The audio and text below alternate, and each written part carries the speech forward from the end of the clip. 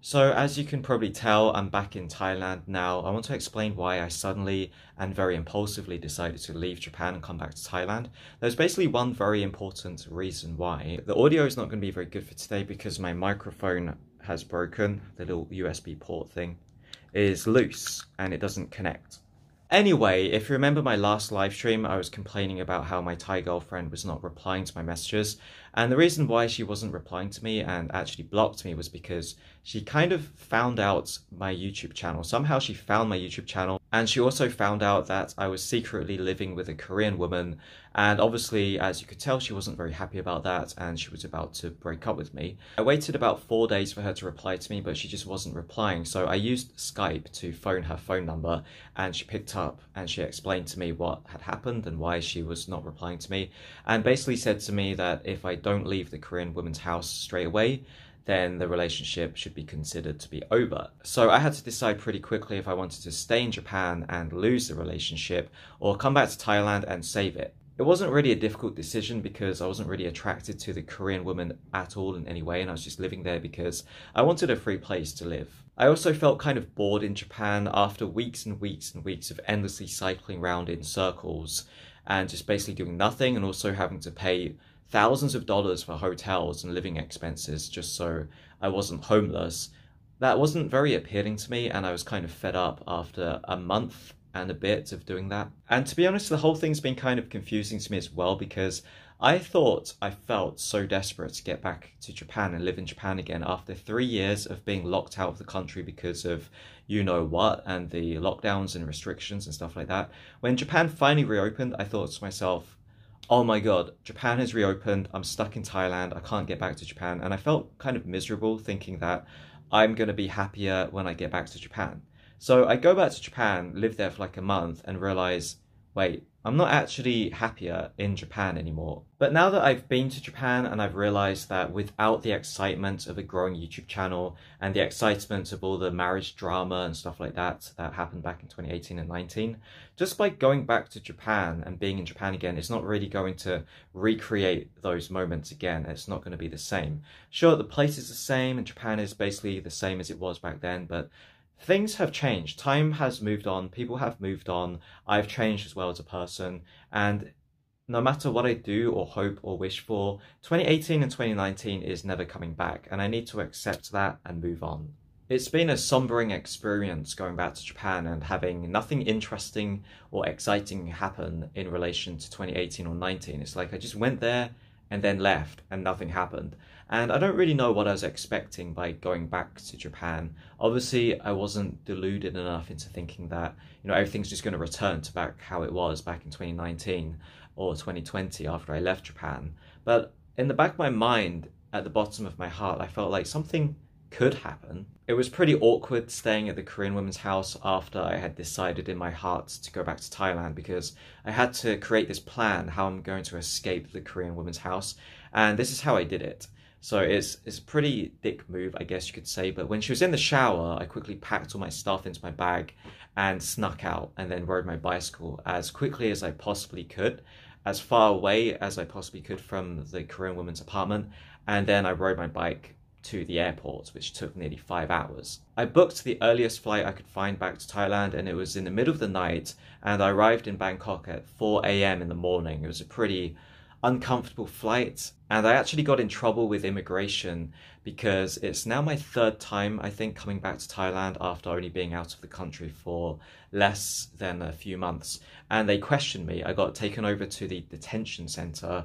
It was very scary. They asked me, Where's my return ticket? And I said, I didn't buy my return ticket yet. And then they started asking me a lot of questions like, Why do you keep coming back to Thailand? What do you do in Thailand? So I told them that I live with my girlfriend and we travel around Thailand every week. And they said to me, you're not traveling, you're just living with your girlfriend, and next time you need to have a visa. I thought they were going to not let me, I thought they were going to deny me entry into the country. I was really scared, but they were nice and they gave me a warning, but they let me in this time. So I can't stay in Thailand very long this time. And next time I want to come to Thailand, I really need to get a visa. I don't know what kind of visa to get. I could get a student visa, I need to go to a language school, or I could get a marriage visa, or I can get a Thai elite visa, which costs £14,000 for a five year visa, which I am seriously thinking of buying now. I really don't know where to go after I have to leave Thailand this time. I'm thinking of maybe I could bring my girlfriend with me back home to the UK whilst I apply for a visa in the UK, or I could try getting an education visa whilst I'm in Thailand and then convert to an education visa whilst being here.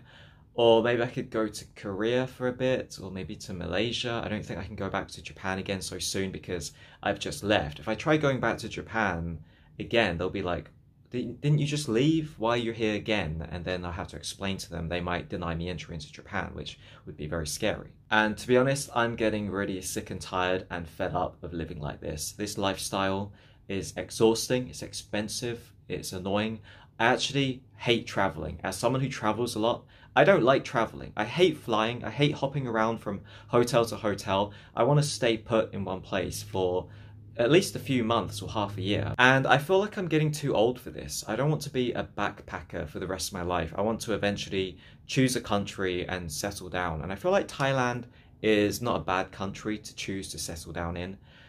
The backpacker lifestyle is just not really appealing to me anymore. So yeah, I need to do a lot of thinking about my future and how can I stay here long term with a visa and what kind of visa to get and what I want to do with my life from now on that now that I don't really care about living in Japan anymore, I feel like my obsession with living in Japan is kind of over again and I don't really feel like I'm gonna be happy just by being in Japan. Hello, welcome back to a new episode of Cooking with Daniel. Today I'm going to be showing you how to make the perfect crispy fried chicken using an air fryer eggs, flour, and breadcrumbs. So this is quite a messy and complicated, well not complicated, it's just there's quite a few steps in making this dish. So you need to be organized. You need two plates and a bowl. You'll need a nice bowl to mix the egg in and you also need to have a wide big plate so you can place the bits of chicken into it to rub all the flour.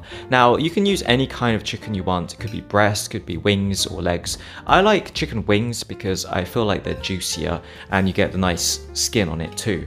Now you want to mix the flour all over so it covers the entire part of the chicken.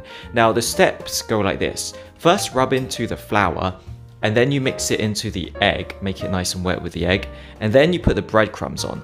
Now I kind of messed up the steps and I forgot the seasoning. You're supposed to put the seasoning onto the raw chicken, so I like to use garlic powder, herbs, and salt. Usually I would put that directly onto the raw chicken, but I forgot this time because it's been a while since I made it, and I had to add the seasoning on during the egging stage.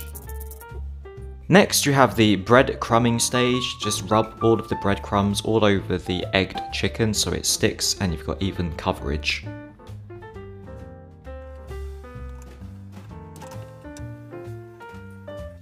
And then place it into your air fryer, you don't need to put any oil or anything, and then I like to put it at 200 degrees Celsius, Celsius or centigrade, I forgot what C stands for, 200 degrees C for about 20 minutes, and after about 10 minutes, you want to take it out and flip it over so you cook the other side evenly. And that is how you make perfect crispy fried chicken, better than KFC, and also probably healthier and cheaper.